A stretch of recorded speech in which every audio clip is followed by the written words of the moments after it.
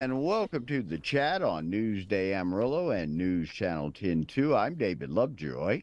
Good morning, everybody. I'm Rhonda Lahnert. And I'm Chuckalicious, Chuck Williams. Our good friend Larry drops by. We we used to usually seeing him for the Polk Street Cruise, and then they have that other car show just like a couple of weeks afterwards out at uh, uh, the Vineyards. Uh, but now they're back, and they're uh, partnering up uh, with Omega House to uh, put on a car show, a classic car exhibition. Larry, how you doing, man?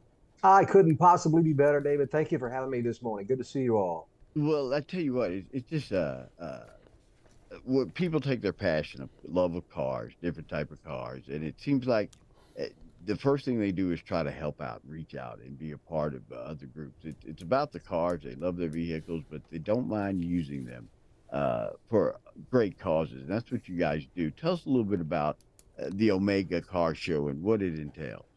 Well, the fraternity down at uh, West Texas A&M University, Omega Delta Phi, called us last year and they said we want to get involved with our community and do something for charity. And they like the, the charities that the Amarillo Area Corvette Club supports, and so they said we're going to do this car show, and we want all the proceeds of that to go to your club, to go to your charities.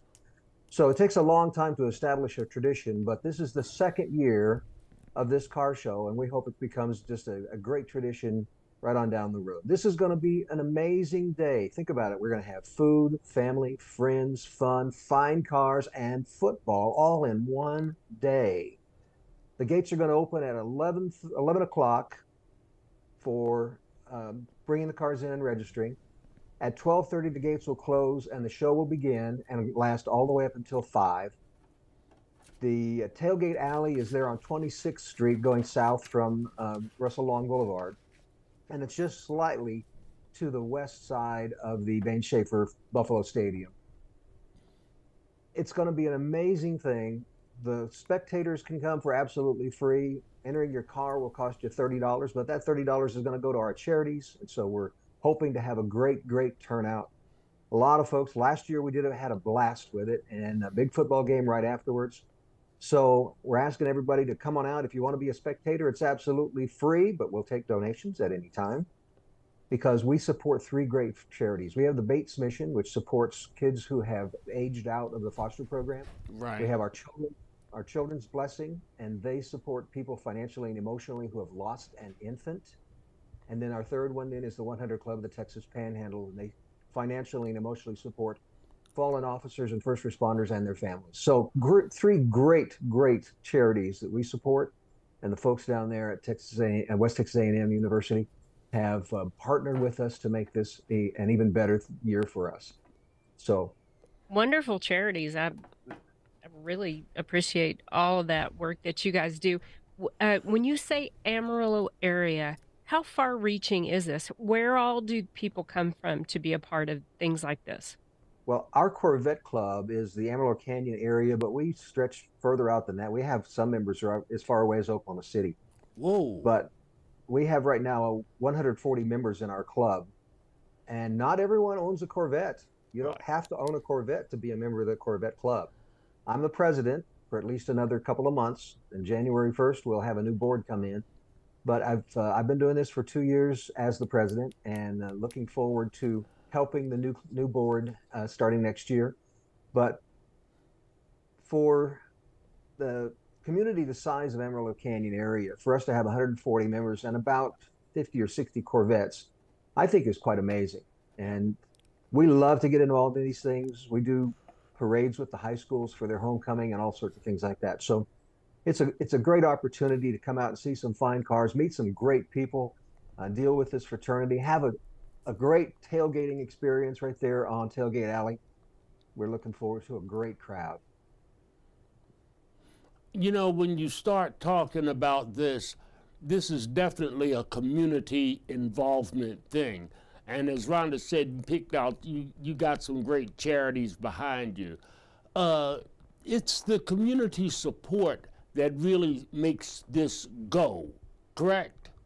Oh, absolutely. Without the community, we would have no funds to hand out to our charities at the end of the year, and that's coming up pretty quick. We we disperse our financial gains for the year at our uh, Thanksgiving party in in November. So those charities that we support will pick up a check in in November, and we want to make sure that it is a good amount that's really going to help them Right. further their programs.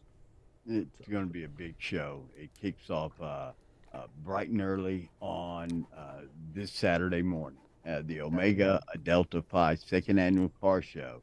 Uh, some charities that they have spotlighted this year: the 100 Club of the Texas Panhandle, uh, Our Children's Blessing, and the Bates Mission.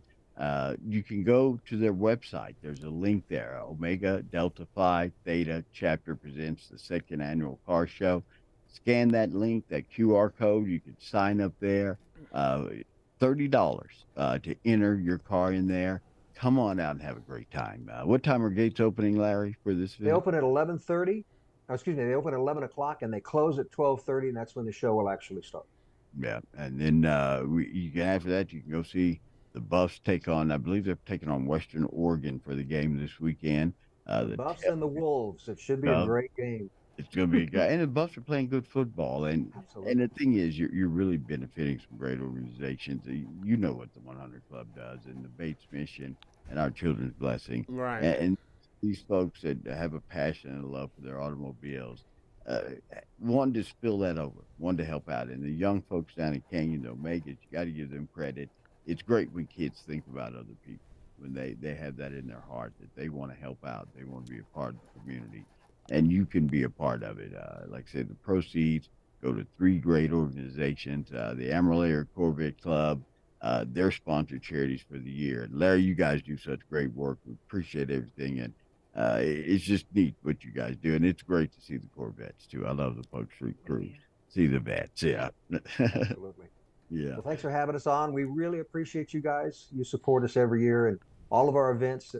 Just outstanding. So thank you so much. It's going to become a tradition. It's the second annual uh, Omega Car Show, September 30th at West Texas A&M University in the tailgate area. They'll be taking on the Western Oregon Wolves. You can sign up your car today. Spots are limited, so you better get in there. Uh, scan that QR code or registration link. It'll benefit the 100 Club of the Texas Panhandle, our Children's Blessing, and the Bates Mission. Larry, take care. Be careful out there, brother. I promise. You too. Uh, all right. We'll take a break. Back with more chat right after this.